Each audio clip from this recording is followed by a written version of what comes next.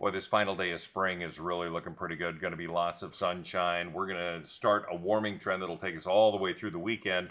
And of course, maybe, uh, well, the fact that it's cool that summer starts tomorrow afternoon, and uh, we're going to have 80s for the weekend to, to go along with that for the first weekend of summer. It's going to be great.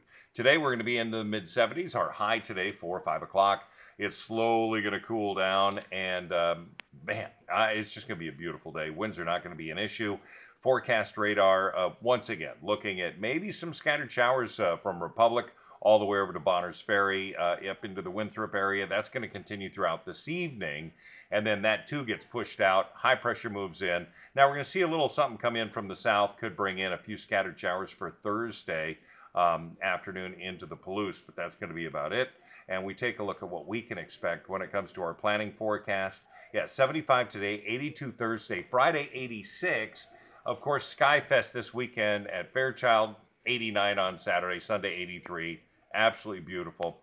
And then temperatures in the upper 70s. That's not looking too bad.